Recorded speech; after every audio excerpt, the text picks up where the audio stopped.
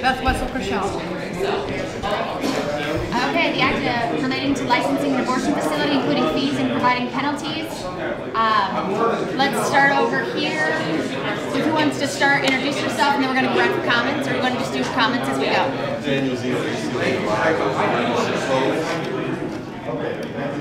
Daniel Zeno, ACLU of Iowa, registered opposed.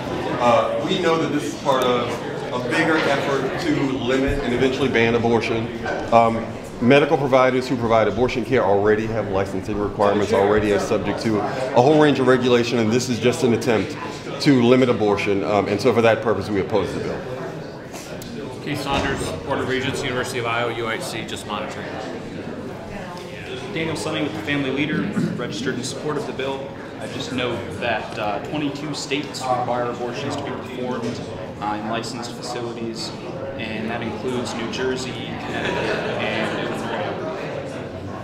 Uh, Tom Chapman from the Iowa Catholic Conference. We've registered in support of the bill. We think this is a common sense bill that puts patient safety first. I would note in the uh, Planned Parenthood versus Reynolds court decision, the Iowa Supreme Court said the state has a compelling interest in protecting the woman's own health and safety and ensuring that abortions, like other medical procedures, are performed under safe circumstances for the patient. This bill is clearly constitutional under both the United States and constitutions. The state has considerable discretion in determining standards for the licensing of medical facilities. And so I think from our perspective, I appreciate the fact you're trying to stand in the shoes of women and ensuring patient safety. Uh, whether people oppose or support legal abortion, the least we can do is make sure that women receive proper medical care. Uh, my name is Maggie DeWitte, and I'm the Executive Director of Iowans for Life. And I'm in support and registered in support of this bill. And thank you for bringing it forward. what I can't understand, and what I haven't understood for years, is how we could have allowed um, centers that perform dangerous procedures that obviously result in the death of a child um, to be unlicensed and unregulated as long as we have. This bill requires minimum standards for safety and standards of care, including that the staff in these facilities are qualified professionals and the facilities are sanitary and provide emergency equipment and procedures. This bill seems pretty straightforward and long overdue. While I don't believe that abortion is health care, or it's normal, or is ever the best decision for a woman in crisis. I do want her to be safe. I want her to know that if she makes this decision, she is at least going into a facility that must be licensed and meet basic safety standards. And frankly, if anyone truly cares about the well-being of Iowa women, they will support this legislation. Women deserve the best and highest standards, and requiring basic licensing oversight is a step in the right direction and I urge this bill to forward. Hi, Sarah Jenner, Department of Inspections and Appeals. We're registered and decided on the bill. Just wanted to point out a couple of things that our department saw. We would be the ones that would uh, be required to do the inspections and the licensing. The first thing is we don't currently inspect uh, doctors' offices at all. Um, so it would probably take us a little while to create what those standards that we would be inspecting for would be. Um, also most of our surveyors currently are federally funded. This would be completely 100% state only, which given the, the licensing fee may cover that, but just wanted to make sure you were aware it would be state-only funding for these. Um, and then the last piece I want to point out is it says um, on page one, section three, when it exempts those that need one, it says physicians who primarily perform abortions. And so we would hope that that, that burden of proof would be on the physician and not on our department to determine whether or not they need to be licensed. Um, that's just one thing we wanted to point out. We're not sure how we would determine that. Thank you. Good morning. I'm Kim Lowey, and I'm a director of life ministries for Lutheran Family Service. And um, as uh, in that position, I'm responsible um, for the licensing of our adoption agency. And so I've come to speak to you today in support of this bill. Um, I've been through these procedures for licensing, and I find them to be incredibly helpful in terms of making sure uh, that each one of our areas is having the correct personnel, that our records, our record keeping, our um, you know, important this is we do this for the safety of the children we're placing for adoption. I have, we have had um, the, the same goals for how we treat women in our pregnancy counseling, and I'd like to see women supported in the same way that their safety matters. Um, and it matters in these abortion facilities where the children are, um, you know, their lives are ending, but those women um, are important and they need to be, their safety standards are, are crucial. Um, and I'm not certain why we haven't done this in the past. And so I would, I would support the bill and hope that you move the measure forward. I'm Connie Ryan, um, Executive Director and Lobbyist for Interfaith Alliance of Iowa Action Fund. We're registered opposed to the legislation for many of the same reasons that Daniel Zeno pointed out. We already have standards, we already have, um, the state area takes responsibility for making sure that uh, providers are licensed. Um, if we are interested in safe legal abortions, as has been stated by a couple of the colleagues then we need to make sure that abortions remain legal safe legal abortions happen, safe abortions happen because they are legal. When you take away a woman's right to have an abortion, when you take away constitutionally or in other ways that right, they become unsafe. They become not part of the, the medical system. And so um, we um, strongly oppose this legislation, but also any kind of um, effort to take away safe legal abortions. Hi everyone, Jamie Burch Elliott, uh, Planned Parenthood North Central States, Planned Parenthood Advocates of Iowa. Uh, we oppose the bill. Um, it's clear that these, um, you know, licenses are not already in place because we do not apply these types of licenses to other healthcare facilities. Um, so why single out abortion providers in this instance? Um, you know, at Planned Parenthood, the health and safety of our patients is our number one priority. Uh, our doctors, our nurses are highly trained, um, and they provide the highest standards of patient care. They follow all of the rigorous safety and ethical guidelines required by their medical licenses.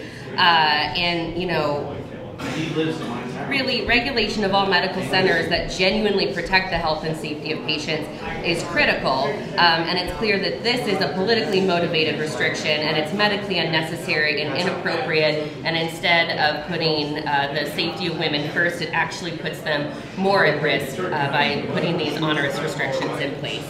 Um, I'll leave it at that. They make a heck of. The longest it is, but Danny Carroll, the family leader, uh, we're in support of the legislation and thank you for bringing it forward.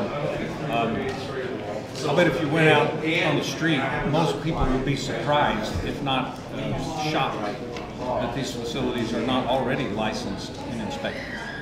Um, this is probably a long time coming. Uh, it seems to make good sense. Uh, we license, inspect, and regulate a lot of things. Uh, you can't even bake a pie for RAGBRAI without a kitchen facility uh, that has been inspected and licensed by the department, uh, the appropriate department. So uh, we encourage uh, this legislation to move forward. Thank you. Chuck Hurley with the Family Leader. Thanks for bringing the bill. Um, one of the previous speakers talked about the safe and legal. Well, necessarily safe, and that's the same as in Pennsylvania. You've probably heard the name Kermit Gosnell. Uh, had an abortion clinic for decades and was not regulated, was not inspected. He, uh, there's been movies made about him. It was unsanitary, women died. Uh, and so I think it's only appropriate on something of this severe nature uh, that the state does make sure that as long as it's legal, uh, it is truly safe. Thank you. Can I add another point that Planned Parenthood is already um, inspected and follows a variety of federal reg- regulations, including the clinical laboratory improvement amendments, uh, HIPAA, so the health insurance portability and accountability, and the um, and OSHA. So you know there are already inspections at the federal level, um, and so it's not that these facilities are not, uh, you know, it, it's the providers that are licensed, and that's just how healthcare works. Um, so just just to be clear. Are there any other comments? Okay, I do want to address a couple of things. First off, you said that we aren't doing any other surgical, like any other type of cases. I encourage you to look at House File 2066, which is licensure for other ambulatory surgical centers and other things. So this is not just a coming at you. This is across the board.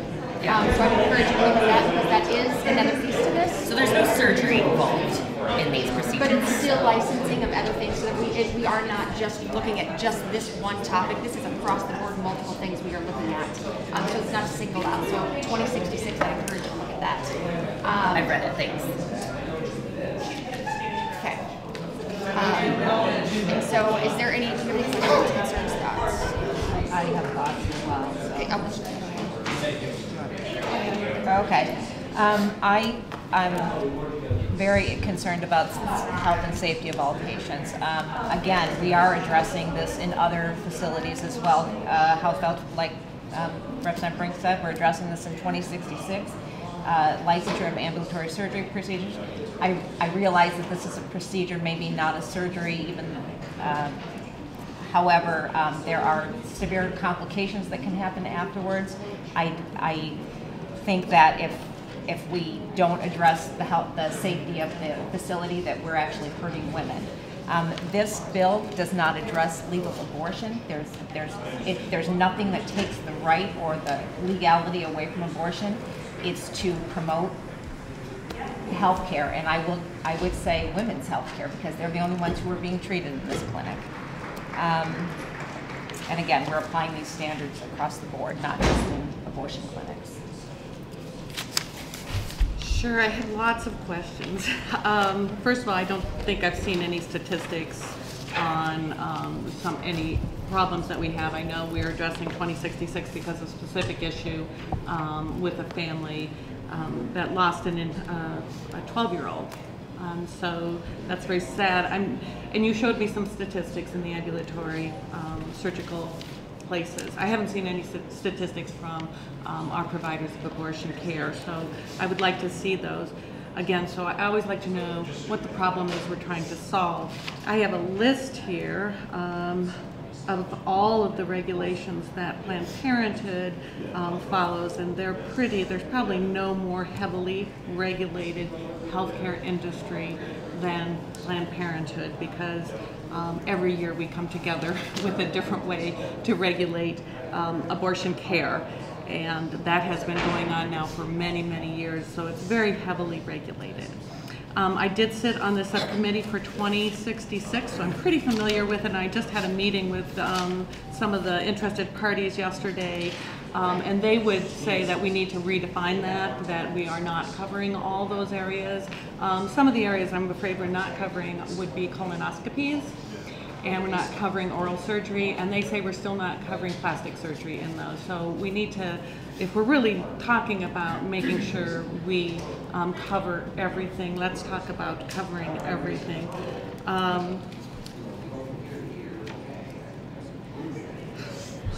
Always wondering what. Also, we had an amendment in House File 2066, which took the licensure renewal fee from 500 down to $50. And so is there a reason that we have $2,000 in this, in this bill?